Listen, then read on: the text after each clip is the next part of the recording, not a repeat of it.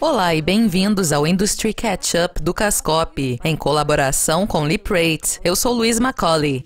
A empresa irlandesa de Forex, Currency Fair, está em operação desde 2010 e agora busca investidores para participar de sua operação de financiamento de 10 milhões de euros para expandir para o Reino Unido e Austrália. Um dos diferenciais da empresa é que eles são capazes de cortar taxas de transferência em 90%. Os bancos normalmente cobram uma comissão de cerca de 3% da quantia a ser transferida, enquanto a Currency Fair cobra apenas 0,3%. Eles podem cobrar uma taxa pequena simplesmente porque não há intermediários envolvidos nas transações. Até o presente, a companhia já trocou 1,7 bilhões de euros para seus clientes e com o projeto na Austrália, a Currency Fair entra em um grande mercado de câmbio.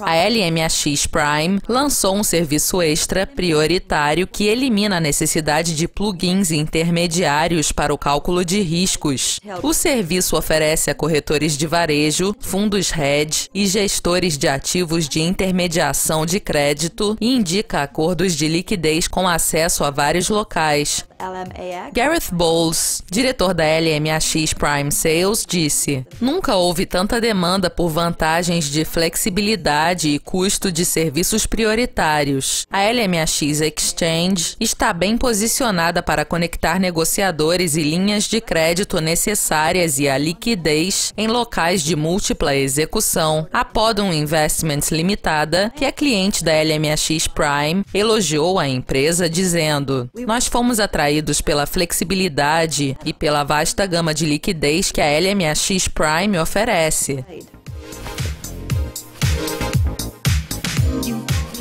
A segunda-feira marcou o primeiro dia em que as ações da Tech Financial começaram a ser negociadas na Bolsa de Valores de Londres. As ações da corretora de opções binárias começaram a ser negociadas a 26,74 pence no mercado de investimento alternativo da bolsa. A receita da empresa acumulou para 7 milhões de dólares na primeira metade de 2014. 3 milhões de dólares desse total vieram do negócio de plataforma e 4 milhões vieram de sua marca binária Option Fair. Quando forem levantados os os fundos suficientes, a empresa planeja abrir um escritório na China e lançar uma plataforma simplificada de negociação de câmbio. Para mais informações sobre as ações IPO da Tech Financials, visite o site da Liprate.